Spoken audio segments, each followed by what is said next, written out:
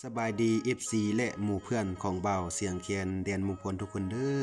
มื้อนี้ก็ประธาน คณะองค์การกฎกาส่วนกลางภาคและองค์การกวดกาแห่งรัฐ ได้ลงมาเยี่ยมยามการผลิตแคนและคันยูเจีย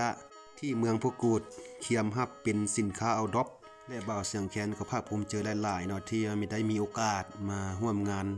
ในครั้งนี้ และก็มอบเป็นเสียงแคนแทนเจอจากเบ่าเสียงแคนแดนมุงพล